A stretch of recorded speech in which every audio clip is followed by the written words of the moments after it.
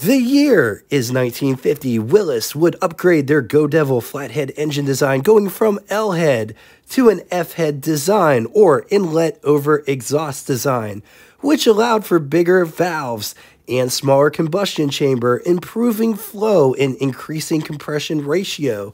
The new engine would be known as the Willys Hurricane engine and was available in four cylinders and six cylinder configurations. The intake valve is directly over the cylinder, like an overhead valve setup, but the exhaust valve is where the exhaust valve would be in an L head engine. The F head is basically a hybrid between overhead valve and L head design.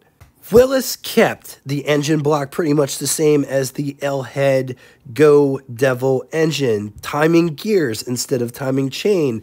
The spark plugs are placed in the upper face of the combustion chamber, centrally located for uniform combustion, full pressurized oiling lubrication to the main connecting rods, camshaft bearings, and rocker arms.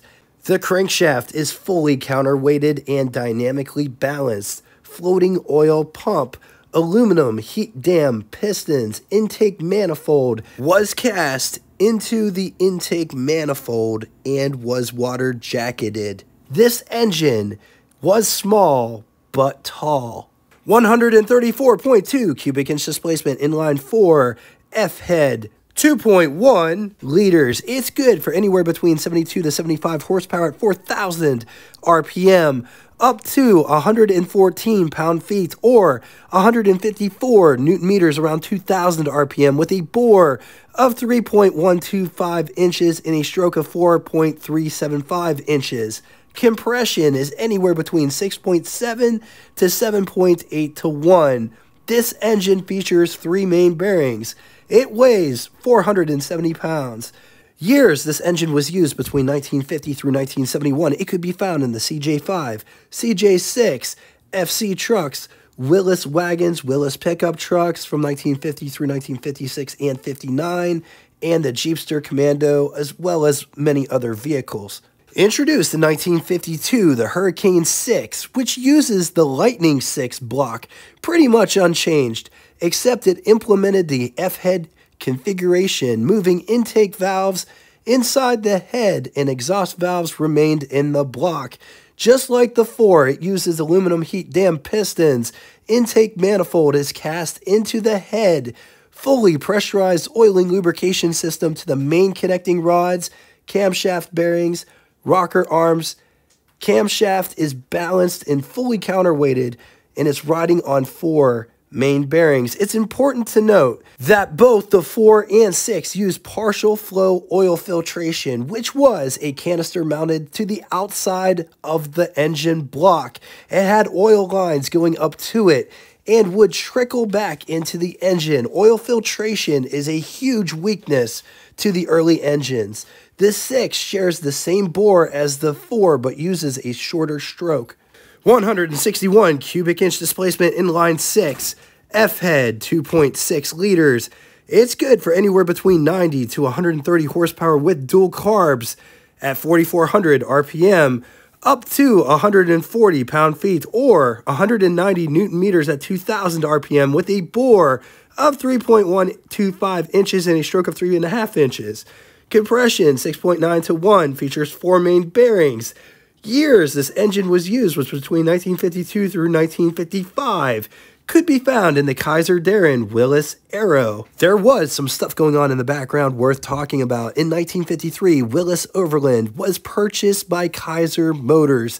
They would change the name from Willys Overland to Willys Motors, which explains why the Willys engine was used in the Kaiser Darrin and they would move their production to Toledo, Ohio, where both Kaiser and Willys would be produced until 1955. They would still make Jeeps in Toledo, but they moved their car production to South America.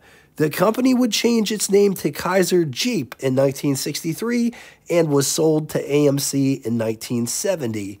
All right, now it's time for Would You Rather. Two scenarios today. In the first scenario with the Hurricane 4, would you rather have a 1955 Jeep CJ5 or 1956 Jeep FC or 1952 Willys Jeepster. I'm going to leave this here for a minute. If you need more time, feel free, pause the video. On to the second scenario. All with the Hurricane 6, 1952 Willys Aero, or 1954 Kaiser Darrin, or 1953 Willys Wagon. I'm going to leave this here again for a minute. If you need more time, feel free, pause the video. Now it's time for Name That Tune. First person to get both the name of the band and the song title correctly in the comment section will have their comment pinned to the top of it. Thank you all so much for coming out and watching this. If you'd like to get in touch with me, shoot me a comment in the comment section below, or you could always send me an email at what underscore it's underscore like at yahoo.com. Thank you so much for making this a car community. Until next time, toodaloo! The year is 1950. The year is 1950. Oh man, this is going to be rough. I'm so congested. I don't understand why I have these allergies. I've never had allergies until my 30s, at least not like this.